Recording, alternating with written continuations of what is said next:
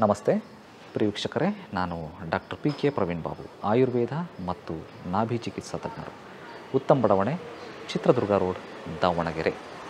ನಮ್ಮ ಸಂಪೂರ್ಣ ವಿಳಾಸ ಇದೇ ವಿಡಿಯೋನ ಡಿಸ್ಕ್ರಿಪ್ಷನ್ ಬಾಕ್ಸಲ್ಲಿ ಲಭ್ಯ ಮತ್ತು ವಿಡಿಯೋದ ಅಂತ್ಯದಲ್ಲೂ ಕೂಡ ಡಿಸ್ಪ್ಲೇ ಮಾಡಲಾಗ್ತದೆ.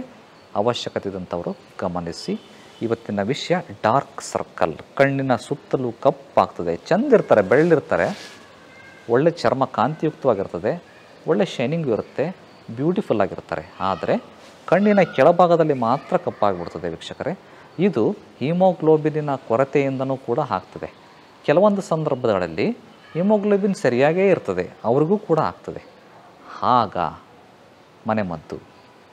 ಯೂಶುವಲಿ ಸಾಮಾನ್ಯವಾಗಿ ಈ ಸಾಫ್ಟ್ವೇರ್ ಇಂಜಿನಿಯರ್ಗಳು ಕಂಪ್ಯೂಟರ್ ಮುಂದೆ ಭಾಳ ಹೊತ್ತು ಕೆಲಸ ಮಾಡೋಂಥವ್ರು, ಮೊಬೈಲನ್ನು ಜಾಸ್ತಿ ಉಪಯೋಗ ಮಾಡೋಂಥವ್ರು ಟಿ ವಿಯನ್ನು ಜಾಸ್ತಿ ಉಪಯೋಗ ಮಾಡೋಂಥವ್ರು, ಮೀಡಿಯಾದಲ್ಲಿ ಕೆಲಸ ಮಾಡೋಂಥವ್ರು, ರಿಪೋರ್ಟರ್ಸು, ನ್ಯೂಸ್ ರೀಡರ್ಸು ಬೆಳಕನ್ನು ಎದುರಿಸಿ ನಿಂತ್ಕೊಂಡು, ಅಂದರೆ ಕ್ಯಾಮ್ರಾಗಳನ್ನು ಫೇಸ್ ಮಾಡೋಂಥವ್ರು, ಲೈಟ್ಗಳನ್ನು ಫೇಸ್ ಮಾಡೋಂಥವ್ರಿಗೆ ಈ ಥರದ ಸಮಸ್ಯೆ ಆಗುವ ಸಾಧ್ಯತೆ ಹೆಚ್ಚು.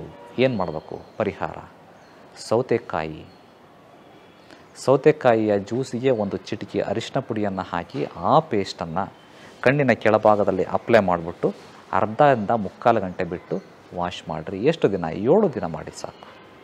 ಈ ರೀತಿ ಮಾಡೋದ್ರಿಂದ ಖಂಡಿತವಾಗೂ ಈ ಡಾರ್ಕ್ ಸರ್ಕಲ್ ಹಂತ ಹಂತವಾಗಿ ಕಡಿಮೆ ಆಗ್ತಾ ಬರುತ್ತೆ.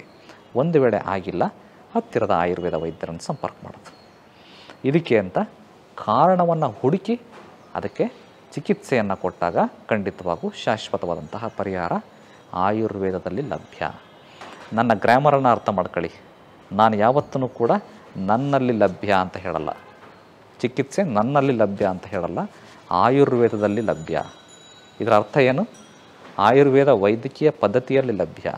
ಆಯುರ್ವೇದ ವೈದ್ಯಕೀಯ ಪದ್ಧತಿಯನ್ನು ಯಾರೆಲ್ಲ ಭಾಳ ಚೆನ್ನಾಗಿ ತಿಳ್ಕೊಂಡಿದ್ದಾರೋ ಅವರೆಲ್ಲರೂ ಮಾಡಬಲ್ಲರು.